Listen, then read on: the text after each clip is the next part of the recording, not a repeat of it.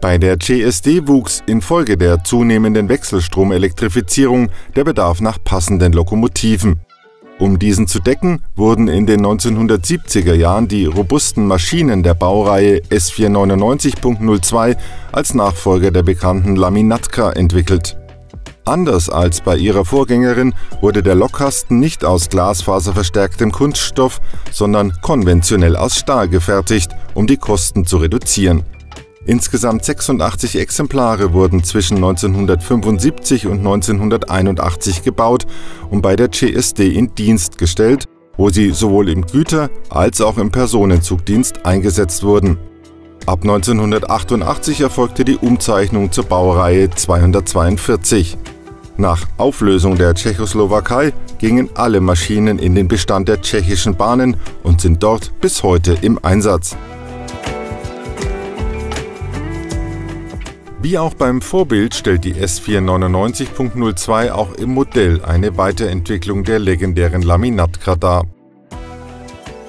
Die hohe Modellqualität zeigt sich in der präzisen Wiedergabe des Lokkastens mit den auffälligen durchlaufenden Lüftungsgittern. Diese sind fein graviert und verleihen dem Modell höchste Plastizität.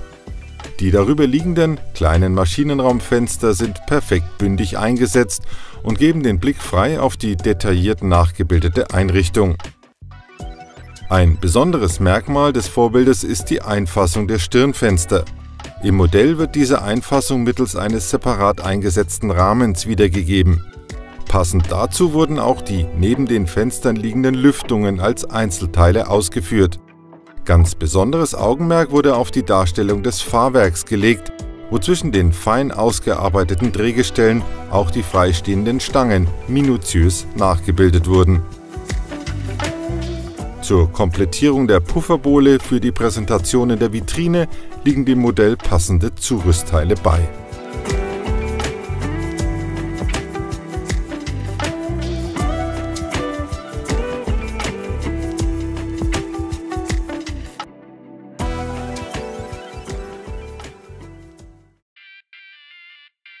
Auf der Anlage überzeugt das neue Pico-Modell durch hervorragende Fahreigenschaften und die ausgesprochen hohe Laufruhe.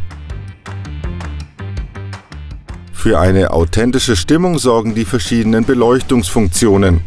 Neben dem obligatorischen fahrtrichtungsabhängigen Lichtwechsel verfügen die werkseitig mit einem Digitaldecoder ausgestatteten Modelle über schaltbare Beleuchtungen in den Führerständen und im Maschinenraum.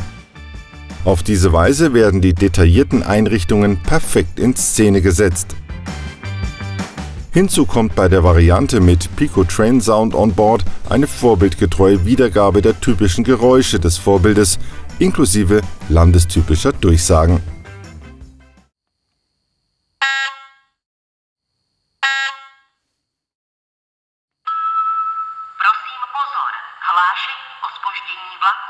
Osobní vlak číslo 7423 linky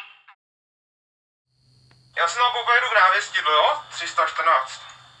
Tak se na těch náměstí jdou červené, já to s jednotkou, jo? Dobrý, rozuměl.